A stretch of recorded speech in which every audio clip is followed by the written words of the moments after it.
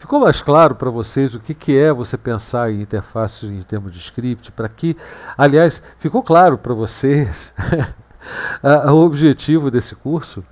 Depois eu vou para os exemplos, enfim, mas essa apresentação para vocês foi suficiente para entender por que, que um curso como esse faz diferença, ele é realmente necessário? Ou, ou continuou na mesma? Putz, conta aí, conta aí no chat, por favor. É, Muniz Carlos, você trabalha onde atualmente? Sabe o que você me lembrou, o, Muniz? É que eu também fui sou músico, né? Mas enfim, não exerço já desde 2015. E, e, sempre que eu dizia, não, eu sou músico, essas pessoas sempre perguntavam, trabalha com o quê? Né? Então, eu estou aqui dando aula, dando cursos, etc. Né? Aí você tem que perguntar mesmo, né? trabalha com o quê? Porque isso aí não dá para viver mesmo, né? tem razão. Mas é, é disso que eu vivo mesmo. Eu vivo dessas aulas que eu dou para vocês, de produzir material livre e gratuito. É o meu ganha-pão, ainda que insuficiente para você dizer que tem uma vida confortável, minimamente tranquila, minimamente tranquila hoje também é um conceito bem relativo, onde temos pessoas, muito mais pessoas passando fome necessidade, mas eu digo para ter o mínimo, para pelo menos pagar as contas, né, ou cobrir as despesas que eu tenho para produzir esse material. Ainda não é o suficiente, mas o pessoal faz o que pode, o pessoal está descobrindo o nosso trabalho, nós temos as contribuições lá no Apoia-se, as pessoas têm feito inscrições nos cursos, alguns mais, outros menos, esse é um dos casos do menos, né? Mas uh, o livro também, a versão impressa do livro está tá à venda.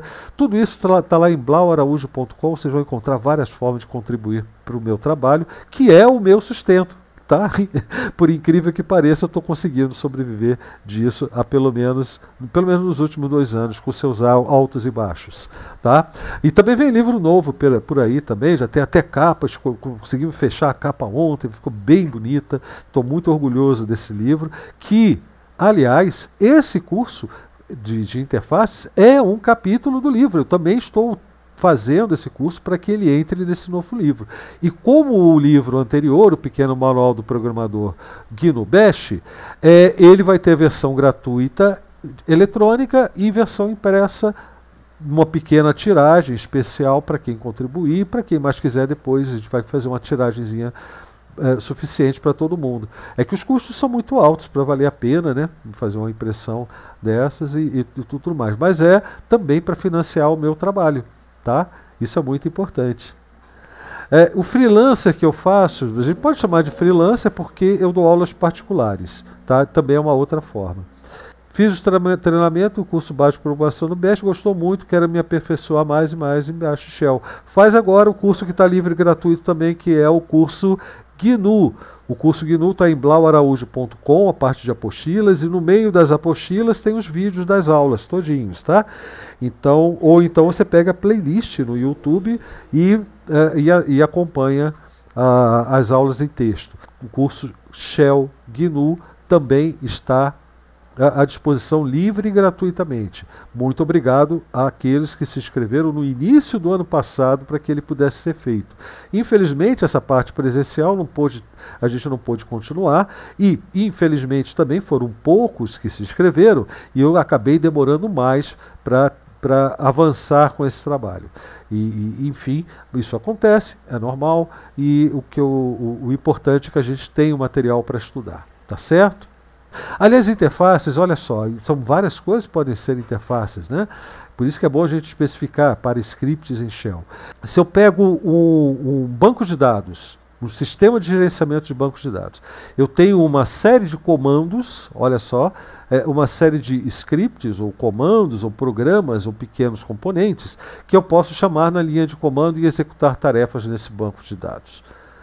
Mas eu também tenho a possibilidade de trabalhar com isso em uma interface web, por exemplo, é muito comum, sei lá, um PHP MySQL, né, MySQL, e, enfim, isso é uma interface. Agora, aquela outra, que são os comandos que você digita, também é uma interface.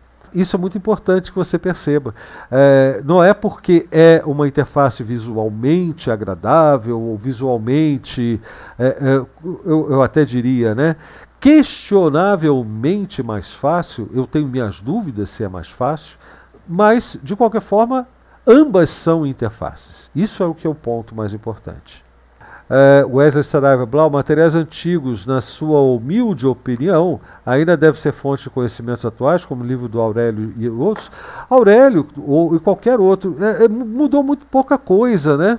Mudou muito pouca coisa. E, e, o engraçado é que parece que o mercado, vamos falar que estão falando de mercado, o mercado não gosta muito de coisas que são muito constantes, não. Porque se não tem novidade, não dá para vender, né? Então, é, livros como o do Aurélio, especialmente o Shell Script Profissional e o de Regex, são sempre recomendáveis. Tá? São sempre é, é, livros de cabeceira. Né? Que bom se um dia os meus puderem estar ao lado dos deles, mas isso depende mais de vocês do que, do que de mim, porque a, a sorte já está lançada, já foi publicado. Talvez o próximo eu possa caprichar e falar assim: não, agora eu vou fazer um livro para ficar do lado, lá, da, na estante ali, do lado do livro do Aurélio. Né? Porque o Aurélio, para mim, é, é, eu sou fã desse cara. Eu, da forma divertida como ele trabalhava e tal. É, enfim, o verde é muito legal. Não conheço pessoalmente, mas conheço o trabalho e a forma de, de, de lidar com essas coisas. Eu sou realmente fã do cara. Páginas da web são interfaces? São. Óbvio, né? Agora, internamente, eu posso dizer que o PHP também é uma interface, afinal de contas, eu posso rodar aqui no meu computador. É, deixa eu ver se eu tenho aqui instalado, ó. Tá lá, eu tenho um PHP e olha só o que eu tenho aqui, ó. PHP, o quê? CLI. CLI por quê? É a interface de linha de comando do PHP. Olha aí, tá vendo? Então eu tenho o, o, PHP como uma interface também. E é tão verdade que eu posso fazer até assim, ó, PHP-A. Agora o meu shell é o PHP. Aqui eu executo. O eco é diferente, ó. Se eu fizer eco assim vai dar errado. Ó, eco banana, ó, vai dar errado. Eu nem vejo que deu errado, mas deu errado, porque se eu colocar o ponto e vírgula agora é que vem o aviso, ó. Porque no PHP tem que fazer com ponto e vírgula. Oh, putz, mas está faltando coisa aqui, né? Tá, tá, banana é, é, é, não está definido, então eu tenho que dizer que é uma que eu tenho que dizer que é uma string, então tenho que colocar entre aspas, ah, agora foi. São outras regras, mas ainda é uma interface, é um shell. Tá? Assim como eu tenho 300 mil shells aí, né? Então, e, e, é, interface é isso tudo. Né? Aliás, esse tipo de interface eu vou mostrar agora para vocês. Vou dar um Q aqui. Eu acho que o Q é que sai, não. É Ctrl C mesmo, que seja. Limpar. Vamos seguir aqui para os exemplos para a gente poder encerrar, porque já passei de uma hora e meia de papo. Está gostoso, estou gostando de conversar com vocês. Mas olha só. Isso aqui é um script meu de cálculo. Eu utilizo é, o, o AWK, que é uma outra linguagem, mas eu utilizo como, uma, como um, um comando, vamos dizer assim, como uma linha de comando para processar cálculos aritméticos. Então a brincadeira aqui, calc é que lê-se calc como se lê calc, calc com L, calc com WK. Então, essa é a brincadeira com o nome do script. E ele utiliza aqui, uma das possibilidades de uso é esse tal de REPL, ou como para os íntimos, o REPL. Tá? O REPL é o tipo de é um tipo de interface que eu classificaria como interface de terminal, porque você inicia um programa e ao longo da execução desse programa, você tem um ciclo de coisas acontecendo. Você, o, o seu programa vai ler a entrada do usuário, vai avaliar o que o usuário digitou e vai providenciar um processamento, vai emitir, vai imprimir uma resposta, o print, né? E vai repetir todo esse processo, ou seja, vai entrar num loop. Então, o loop de um REPL é, é, um tipo de interface também. O shell funciona nesse esquema mais ou menos, é um REPL. Uh, o que nós vimos agora, o shell do PHP que eu abri para vocês, é um REPL. Tá? Enquanto eu não saio daquele loop, eu estou no meu programa, estou interagindo com ele. Agora, dentro dele, eu vou ter outros, outros elementos de interface que eu posso utilizar, como comandos, etc. Né? Mas, enfim, então esse meu script aqui é uma calculadora. Eu posso utilizar de várias formas. Eu fiz questão de colocar isso porque quando eu criei quando eu criei, não, quando eu terminei esse script, que ele já existia há algum tempo, eu fiz pensando nesse nosso curso.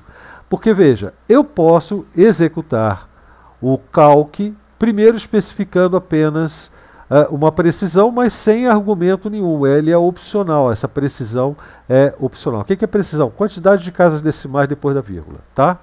Beleza. E isso vai fazer com que ele seja executado de uma determinada forma. Eu posso executar o calc passando um argumento é, nomeado com ou prefixado com menos e, tá? o traço e, que é a expressão que eu quero avaliar, que eu quero efetuar. De novo, opcionalmente, uma precisão. Isso daqui, esse segundo aqui, de fato é o que? Uma interface CLI. É o mesmo script, mas eu tenho uma interface CLI e eu tenho essa aqui que eu vou mostrar para vocês. Agora, Ainda na interface CLI, eu posso receber a expressão através de pipe. Olha só, um comando gera uma expressão e eu passo por pipe para o meu script. Isso é outra interface, é uma interface com o usuário? De certo modo, não, é uma interface com o restante do sistema. E isso também é interface para script em shell. E isso é decisão importante a ser tomada, é algo que precisa ser planejado. Né? Você vai, esse script vai ser feito para aceitar esse tipo de dado? Olha só, né?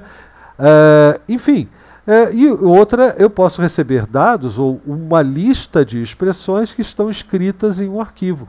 Como o calc lê a entrada padrão, eu posso passar os dados diretamente de um arquivo para serem processados e o calc vai mostrar o resultado de cada um desses cálculos. E isso é interface com o sistema operacional, inclusive. Agora, dentro do calc, eu vou executar aqui. Ó. Isso aqui era, são as formas de execução. Então vamos ver isso aqui. Ó. Calc. Tá? Aí eu vou fazer sem passar nenhum argumento. Enter. Olha, só aparece aqueles dois pontos. Aquilo é uma interface. Eu tenho que saber o que o calc faz para saber o que eu vou fazer em seguida. Eu posso, inclusive, tentar, né, por intuição, colocar coisas como interrogação. E olha, eu já, já deixei essa dica né, para o pessoal. Então, ó, a interrogação com o calc executado, ele está em modo REPL, é REPL, e aí eu tenho os comandos que eu posso dar aqui dentro. H e, e interrogação para ajuda, Q quit para sair, F para definir a precisão. Mas para que, que serve uma calculadora? Para fazer conta, né? Então vou fazer conta. Ó. 4 mais 4. Ó, eu tenho 8 com duas casas decimais. Ah, eu não quero isso, eu quero com precisão de zero casas decimais. Legal, vou repetir, ó, tenho setinha para cima e para baixo. Olha lá, 4 mais 4 igual a 8. Aliás, eu posso pegar esse 8 e posso dividir por 3. Ih, mas aí agora ficou ruim de saber o resultado sem as casas decimais, né? Não, beleza, vamos mexer de novo aqui na, na precisão, vamos colocar pelo menos 4 casas decimais. Vamos repetir a conta. Tá lá. Ah, agora eu gostei. Ou seja, estou aqui com uma calculadora. E utilizo a calculadora enquanto eu, quiser utilizar e depois aperto o comando Q, Enter e eu saio. Tá? Essa é uma forma de eu interagir com este programa. Isto é uma interface. Mas veja, mas eu não quero entrar no REPL, eu quero passar a conta direto. Então eu coloco aqui o argumento menos E e escrevo a conta. Lembra do 8 dividido por 3, que eu fiz lá dentro, né? e dou Enter.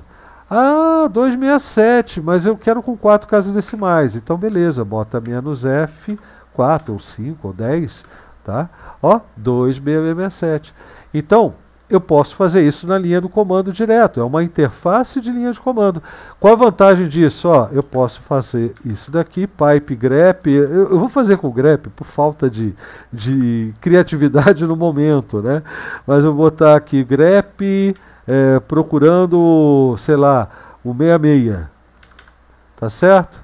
Ó, os dados da saída do meu programa são passados para a entrada de outro programa. E aí ele destacou em vermelhinho ali o 66, porque foi onde ele encontrou o padrão, né? E assim por diante, gente. Então, esse aí é, é, esse aí é um exemplo de interface que ao mesmo tempo, de um script aliás, que ao mesmo tempo oferece uma interface de linha de comando, com tudo que uma interface de linha de comando tem direito, que é ler a entrada padrão, ou, ou mandar dados por pipe para outro programa, e permitir opções. É, só para dar um exemplo aqui, ó, eu vou só deixar o F4 e agora eu vou passar uma pela string, eu vou passar a conta. Ó. A conta vai ser 4 vezes uma coisa que a gente sabe, ó, 3 vezes 5, para ficar 15. Então, ó, 3 vezes 5. 4 vezes 3 vezes 5. Pô, não precisa do parênteses, eu coloquei para mostrar que, que pode usar parênteses também, né? Aí eu peguei essa conta e tá lá, 60, 4 vezes 15, 60. Ó, bacana. Então eu passei isso, os dados por uma string, podia ser por um pipe, podia ser por um arquivo, porque ele está lendo a entrada padrão. Isso aqui é um programa com uma interface muito bem pensada. Não é porque eu fiz, é que eu já eu fiz isso pensando em demonstrar os conceitos desse curso. Isso é o tipo de, de interface que a gente espera, que as pessoas tenham a habilidade de programar nos seus scripts. E é o tipo de interface que não vale a pena você se preocupar se você quiser fazer uma conta na linha do comando. É, então aí você faz simplesmente um BC, ou o próprio Calc já passa a ser o, o, uma calculadora para essa finalidade. Mas é, você entendeu? Não é uma preocupação se você está fazendo um encadeamento de comandos diretamente no modo interativo. Rap é um loop interativo e um comando mesmo, ou um conceito. É, é, é, um loop interativo e é um conceito. Agora, um comando é o que acontece no REPL, né? porque você tem que. O, o vai. A primeira etapa, o R, é ler o comando passado pelo usuário. Então, R é de ler o comando, é, E é de avaliar, eval, né? o comando, é, P é de imprimir e o L é de loop. Linguagem à parte, nós temos também um curso completo de AWK que foi desenvolvido exatamente como nós estamos fazendo aqui agora. Tivemos um, não foi pago, esse curso foi totalmente gratuito, mas graças ao apoio do pessoal, a gente pôde criar aqui no, no canal tem um, um, curso completo de AWK também, pelo menos do essencial do AWK para o guia da sobrevivência, né, que eu costumo chamar. Tá certo? É o guia da sobrevivência no AWK, mas é para programar em AWK é o primeiro passo mesmo. Vamos ver outro exemplo? Deixa eu até fechar aqui, porque eu preciso economizar processamento. Uh, deixa eu dar um Ctrl D para encerrar essa sessão. Essa aqui fica. Eu vou para o próximo. Isso aqui foi um exercício do curso Shell Prático, tá? Vocês conhecem o NeoFET. O NeoFET é um tipo de programa que você executa e não tem, você tem ali algumas opções, então a interface se limita a permitir algumas eh, opções que vão alterar o comportamento, mas o que o programa faz essencialmente é jogar no terminal uma série de informações. E o que nós fizemos no curso foi eh, estudar o, o, o NeoFET para ver como ele capturava as informações que ele fornecia e através do nosso script, que não tem nenhuma opção, ele é apenas um script que você executou e ele faz o que ele tem que fazer. Como eu disse, a falta de interface é uma interface, tá certo? E aqui eu tenho a saída. E essa saída ela é pensada dessa forma, e lembra eu falei, a falta de interface é uma interface. Porque isso, ainda que seja assim, é útil. Porque se eu estiver querendo saber, por exemplo, qual é o meu ambiente, o, o, meu gerenciador de janelas, é só passar essa saída para um grep WE, ou menos i para ficar, enfim, WM, é, case insensitive, e está lá, WM3. Ou seja, o meu script ele, se, ele não tem uma, uma interação com o usuário, mas o usuário pode aplicá-lo em conjunto com outros programas ou simplesmente da forma que ele exibe e, e isso servir de interface para você fornecer dados para outros programas. Então, tudo isso, a, essa falta de interface, acaba sendo também a interface escolhida pelo meu projeto, a partir da demanda do projeto, a partir da característica do meu utilizador, do perfil do utilizador. Você está entendendo? Não é só ter interface gráfica. Aliás, eu não vou dar nem exemplos de interface gráfica aqui. E, o pessoal do Shell, do, do, Shell Prático, da última aula, a gente desenvolveu um programa que, aliás, eu vou mostrar que programa foi esse. E assim vai. Então, ó, deixa eu dar um Ctrl D aqui. Tá? Mais, uma, mais um exemplo que nós vimos. Então, vamos para o próximo. Olha aqui, ó. Esse eu mostrei aqui, ó. Vou fazer de novo, ó. Super F1, eu mando search meu, é um script meu. Esse é um dos mais antigos, né? Inclusive ele, eu, eu, preciso melhorar muita coisa nele, porque foi um dos primeiros que eu fiz. Uh, e a intenção aqui é encontrar, é, facilitar uh, o encontro de páginas de manual tanto pelo, pelo nome da, da, da página, do programa, enfim, ou da página do manual, quanto pelo, pela descrição que a gente tem no apropós. Né? Apropós são esse resumão aí dos, das páginas do manual. Então eu filtro, o meu script filtra essas informações do apropós, gera este menu e eu escolho o que eu quero e busco o que eu quero a partir de ocorrência, por exemplo, de palavras que podem estar em qualquer parte da linha. Então vamos colocar aqui, ó, ficheiro.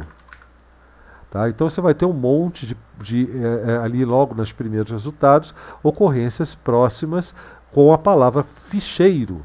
Né? Mas eu quero colocar algo mais específico, eu vou colocar APT. É claro que APT é a primeira opção, enfim, da forma com que o D menu faz essa essa filtragem da, da, da, busca, né? mas eu tenho uma ferramenta genial, sensacional para encontrar rapidamente páginas no manual. Só que isso foi feito numa interface gráfica, porque o DMenu é um programa, um gerador de menus que trabalha com a interface gráfica, trabalha com X. Né? Então eu vou é, encerrar, porque esta outra versão do MS, que para mim é a que eu mais uso, né, porque eu já estou no terminal mesmo, digito MS e eu vejo ali o que eu quero.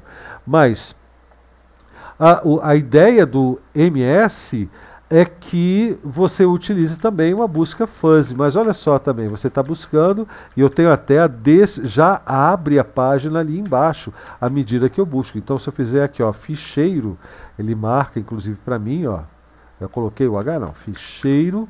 Tá vendo? Fica em verde. Uh, a busca mais próxima do início da, da, da linha é, ocupa as primeiras, uh, primeiras posições. E, enfim, e a, aqui, ó, passeando com o, o, o teclado para cima e para baixo, eu mudo instantaneamente a descrição. A, eu abro a página do manual embaixo e eu já tenho uma noção de se é aquilo que eu estou procurando ou não. E isso é script em shell. Um shell controlando a execução de um programa. O nome desse programa é Fuzzy Finder e ele funciona de uma forma idêntica ao funcionamento do D-menu, só que com 300 mil opções a mais, que permite fazer coisas muito loucas, como aquilo que eu vou mostrar daqui a pouco também.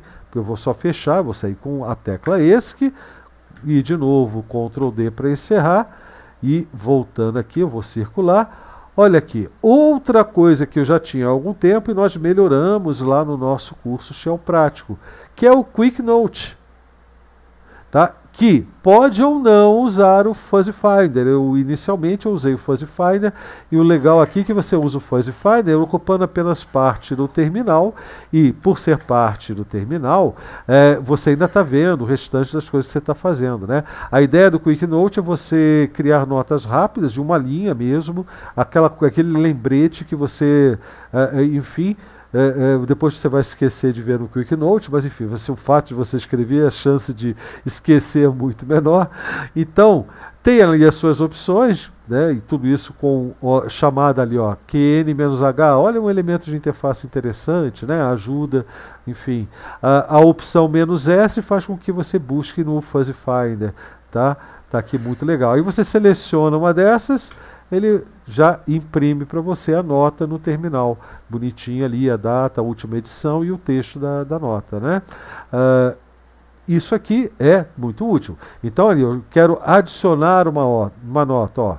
QN, a interface aqui é, é, é a interface de linha de comando, mas uh, o programa em execução vai me pedir informações, então eu já tenho uma interface para terminal, uma TUI. Então, ó, menos N, de novo, ou tra, faltou N traço N, nova nota. Ó, ele me pergunta o que, que eu quero escrever. Ó, Maria tinha um carneirinho, sua lã era branca como a neve. Aonde quer que a menina fosse, o carneirinho ia atrás. Um dia o carneirinho, então vai ser isso, ó. Um dia o carneirinho seguiu a menina até a escola. Não é escolha, é escola. Ah, devia ter deixado errado. Mas vê lá, dei Enter. Pronto, a nota foi incluída. Se eu fizer aqui agora o QN-L, eu tenho, olha só, listagem direta no terminal. E isso pode ser usado com outros programas para fazer filtragem de dados. Bacana demais, né? Aí eu vou limpar porque eu vou fazer agora o menos S, que é de busca, e eu tenho a nova nota. Aí eu falei assim, está faltando uma vírgula ali. Então, beleza. Eu vou só, eu posso cancelar, ele não imprime nada, só esse, que né, cancela, e eu venho aqui, QN menos E, escolho a nota a ser editada, maravilha, e eu venho aqui, mudo para um dia, vírgula. Pronto, a nota foi atualizada. E agora, fazendo uma nova listagem, está lá atualizada. Bom, gente, então, viu o que dá para fazer com o Shell? Tá, a gente sabe o que dá para fazer, mas quando que a gente chega à conclusão de que isso aqui é algo que é interessante para um determinado público de ser feito de uma determinada forma. E esse é o caminho que a gente vai tentar descobrir. Né? Primeiro a gente vai ver quais são as técnicas e, evidentemente, a gente vai associar essas técnicas a usos. Né? Deixa eu cancelar aqui, porque eu vou mostrar que existe uma outra forma ainda de trabalhar esse, esse nosso script do QuickNote. O Léo deve lembrar disso, se é que o Léo ainda está aqui acompanhando com a gente. Né? É, mas enfim, vamos, vamos verificar aqui, ó. Olha só. É, esse daqui, apesar da aparência que já está customizada para o meu gosto, né, é o Dialog. Dialog é uma das ferramentas de criar diálogos na, no terminal. É uma interface bem característica do que a gente chama de TUI. Inclusive, aqui você tem eh, a, a a replicação de alguns elementos de interface gráfica, inclusive, né? Não, esse curso foi um curso que já foi avisado que não seria publicado, que era o curso de é, Shell Prático, e esse curso Shell Prático, ele se transformou no que vai começar agora na sexta, que é o curso Técnicas do Shell.